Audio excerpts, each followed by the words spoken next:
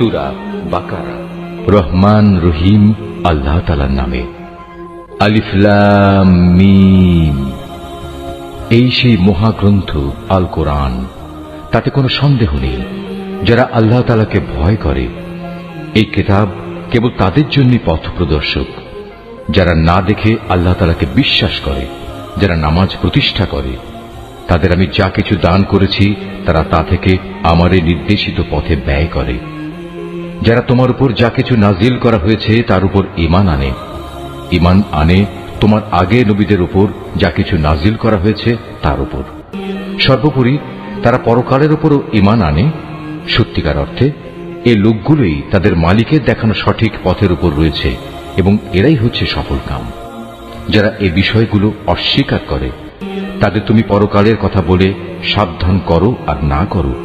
কার্যত উভয়টাই তাদের জন্য সমান কথা। এরা কখনো ইমান আনবে না। ক্রমাগত কুফরি করার কারণে আল্লাহ তালা তাদের মন, মগজ ও শ্রবণ শক্তির উপর মোহর মেরে দিয়েছেন। এদের দৃষ্টিশক্তির উপরও এক ধরনের আবরণ পড়ে আছে, যারা এ ধরনের লোক, তাদের জন্য পরকালের কষ্টদায়ক শাস্তি রয়েছে। মানুষদের মাঝে কিছু লোক এমনও আছে যারা মুখে বলে, আমরা আল্লাহ তালা ও পরকালের উপর ইমান এনেছি, কিন্তু এদের কর্মকাণ্ড দেখলে তুমি বুঝতে পারবে এরা মোটেই ইমানদার নয়। মুখে ইমানের দাবি করে এরা আল্লাহ তালা ও তার নেক বান্দাদের সাথে প্রতারণা করে যাচ্ছে। মূলত এ কাজের মাধ্যমে তারা অন্য কাউকে নয়, নিজেদেরই ধোকা দিয়ে যাচ্ছে। যদিও এ ব্যাপারে তাদের কোনো প্রকারের চৈতন্য নেই। আসলে এদের মনের ভেতর রয়েছে এক ধরনের মারাত্মক ব্যাধি। প্রতারণার কারণে আল্লাহ তালা এদের সে ব্যাধি বাড়িয়ে দিয়েছেন। তাদের জন্য রয়েছে আল্লাহ তালার পক্ষ থেকে পীড়াদায়ক আজাব কেননা তারা মিথ্যা বলছিল। তাদের যখন বলা হয়, তোমরা এই শান্তিপূর্ণ জমিনে অশান্তি ও বিপর্যয় সৃষ্টি করো না, তখন তারা বলে, না, আমরাই তো বরং সংশোধনকারী। অথচ এরাই হচ্ছে জমিনে যাবতীয় বিপর্যয় সৃষ্টিকারী।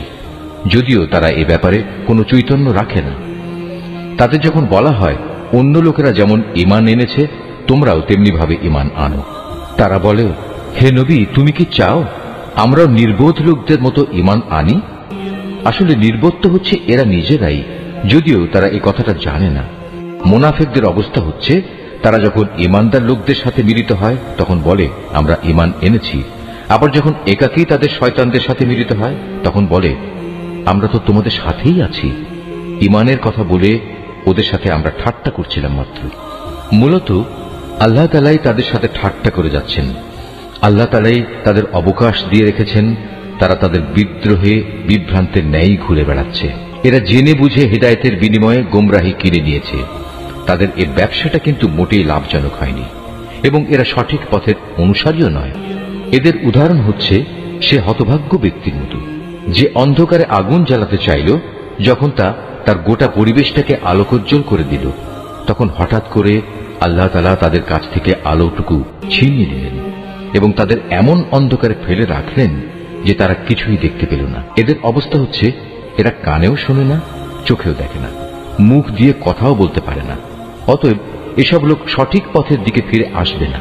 অথবা এদের উদাহরণ হচ্ছে, আসমান থেকে নেমে আসা বৃষ্টির মতো, এর মাঝে রয়েছে আবার অন্ধকার, মেঘের গর্জন ও বিদ্যুতের চমক। বিদ্যুৎ গর্জন ও মৃত্যুর ভয়ে এরা নিজেদের কানে নিজেদের আঙুল ঢুকিয়ে রাখে। এরা জানে না আল্লাহ তালা কাফেরদের সকল দিক থেকেই ঘিরে রেখেছেন। তাতে এদের অবস্থা নাজুক হয়ে পড়ে। মনে হয় এখনই বিদ্যুৎ এদের চোখ নিষ্প্রভ করে দেবে। এ আতঙ্কজনক অবস্থায় আল্লাহ তালা যখন এদের জন্য একটু আলো জ্বালিয়ে দেন, তখন এরা সেদিকে চলতে থাকে। আবার যখন তিনি তাদের উপর অন্ধকার চাপিয়ে দেন, তখন এরা একটু থমকে দাঁড়ায়। অথচ আল্লাহ তালা চাইলে সহজেই তাদের শোনার ও দেখার ক্ষমতা ছিনিয়ে নিতে পারতেন। নিশ্চয়ই তিনি সর্বশক্তিমান। হে মানুষ, তোমরা সেই মহান আল্লাহ তালার দাসত্ব স্বীকার করো, যিনি তোমাদের এবং তোমাদের আগে যারা ছিল তাদের সবাইকে পয়দা করেছেন। আশা করা যায় এর ফলে তোমরা যাবতীয় সংকট থেকে বেঁচে থাকতে পারবে। তিনি সে মহান সত্তা, যিনি জমিনকে তোমাদের জন্য শয্যা বানালেন, আসমানকে বানালেন ছাদ, এবং আসমান থেকে পানি পাঠালেন। তার সাহায্যে তিনি নানা প্রকারের ফলমূল উৎপাদন করে তোমাদের জীবিকার ব্যবস্থা করলেন। অতপর তোমরা জেনে বুঝে এসব কাজে আল্লাহ তালার সাথে কাউকে শরিক করো না। আমি আমার বান্দার উপর যে কেতাব নাজিল করেছি, তার সত্যতার ব্যাপারে যদি তোমাদের কোনো সন্দেহ থাকে, তাহলে যাও। তার মতো করে একটি সুরা তোমরাও রচনা করে নিয়ে এসো। এক, আল্লাহ ছাড়া তোমাদের আর যেসব বন্ধু বান্ধব রয়েছে, তাদেরও প্রয়োজনে সহযোগিতার জন্য ডাকো। যদি তোমরা তোমাদের দাবিতে সত্যবাদী হও। কিন্তু তোমরা যদি তা না করতে পারো, এবং আমি জানি তোমরা তা কখনই করতে পারবে না। তাহলে তোমরা দোজখের সেই কঠিন আগুনকে ভয় করো, যার ইন্ধন হবে মানুষ ও পাথর। আল্লাহ তালাকে যারা অস্বীকার করে, তাদের জন্যই এটা প্রস্তুত করে রাখা হয়েছে। অতপর যারা কেতাবের উপর ইমান এনেছে এবং ভালো কাজ করেছে, তাদের তুমি হে নবী, সুসংবাদ দাও। এমন এক জান্নাতের, যার নিচ দিয়ে ঝর্ণা প্রবাহিত হতে থাকবে। যখনই তাদের এই জান্নাতের কোন একটি ফল দেয়া হবে তখনই তারা বলবে, এ ধরনের ফল তো ইতিপূর্বেও আমাদের দেওয়া হয়েছিল। তাদের মূলত এমনি ধরনের জিনিসই সেখানে দেওয়া হবে। তাদের জন্য আরও সেখানে থাকবে পবিত্র সহধর্মী এবং সহধর্মিনী, এবং তারা সেখানে অনন্তকাল ধরে অবস্থান করবে। সত্য প্রমাণের জন্য আল্লাহ তালা মশা কিংবা তার চাইতে ওপরে যা কিছু আছে তার উদাহরণ দিতেও লজ্জাবোধ করেন না। যারা আল্লাহর বাণীতে বিশ্বাস স্থাপন করে তারা জানে, এ সত্য আল্লাহর কাছ থেকেই এসেছে। আর যারা আগেই সত্য অস্বীকার করেছে, তারা একে না মানার অজুহাত দিতে গিয়ে বলে, আল্লাহ তালা এ উদাহরণ দ্বারা কি বুঝাতে চান? এভাবে একই ঘটনা দিয়ে আল্লাহ তালা অনেক লোককে গুমরাহিদের নিমজ্জিত করলেও বহু লোককে তিনি আবার এ দিয়ে হেদায়তের পথও দেখান। আর কতিপয় পাপাচারী ব্যক্তি ছাড়া তিনি তা দিয়ে অন্য কাউকে গুমরাহিতে নিমজ্জিত করেন না।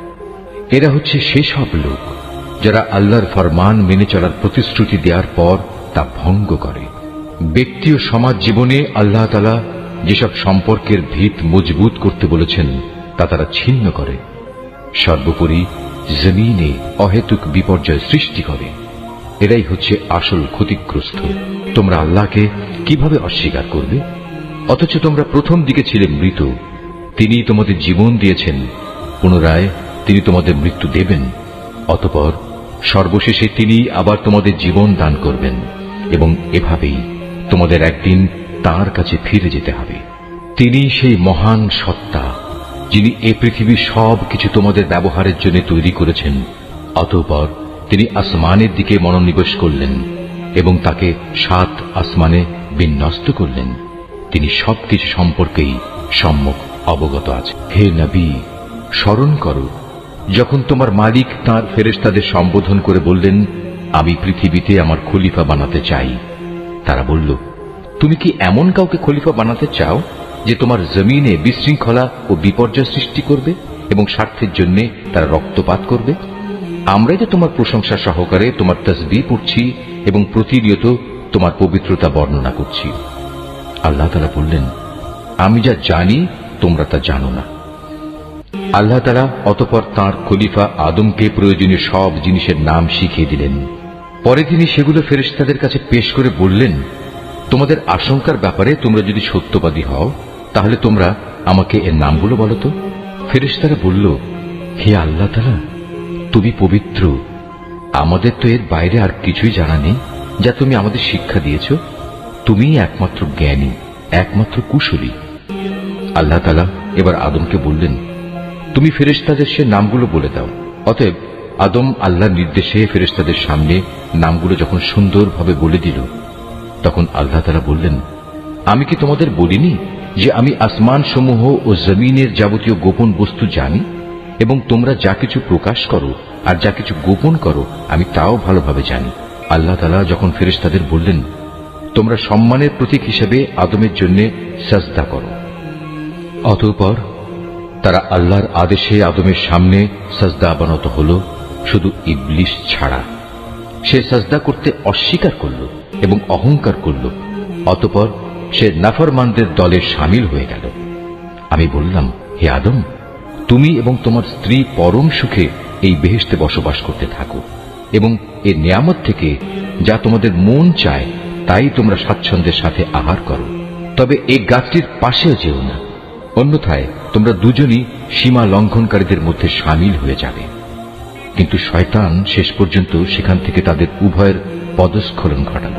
তারা উভয়ে বেহেস্তে যেখানে ছিল, সেখান থেকে সে তাদের বের করেই ছাড়ল। আর আমি তাদের বললাম, তোমরা একজন আরেকজনের দুশ্মন হিসেবে এখান থেকে নেমে পড়ো। তোমাদের পর সুরা বাকারা। রহমান রহিম